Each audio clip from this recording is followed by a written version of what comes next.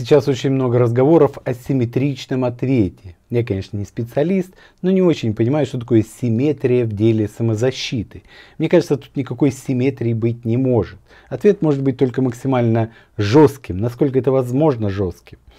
Вот ворвался в ваш дом э, бандит с ножом, а вы, например, мастер спорта по карате. Должны ли вы, не применяя своих приемов, схватиться за нож? Или, допустим, вам угрожает в подворотне человек, угрожает перерезать горло. Должны ли вы ему в ответ тоже угрожать? Или можете двинуть его палкой по голове?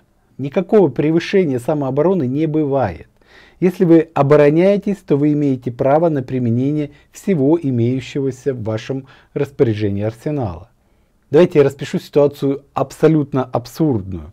Вы здоровый качок, 190 Э, рост, касая сажень в плечах, вам в дом врывается брюнетка ростом, не знаю, 165 сантиметров, 40 килограмм. В руках у нее пистолет или бита бейсбольная. И она орет, что убьет вас к чертям.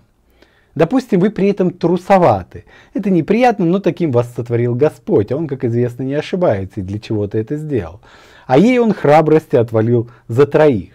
И именно поэтому вы мирно закачиваете мышечную массу в фитнес-зале, а она зарабатывает грабежом и разбоем. Должны ли вы взвешивать каждое свое движение, или может быть ей лучше не врываться в дом?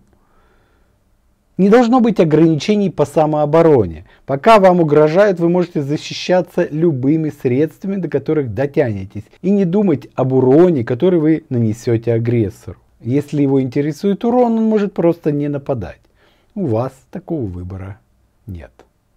Спасибо, что смотрите, что лайкаете, что подписываетесь. Помните про Boosty и Patreon завалявшихся у вас рублей. Телеграм еще есть. Жаль, что никто эту часть не слушает. Пока.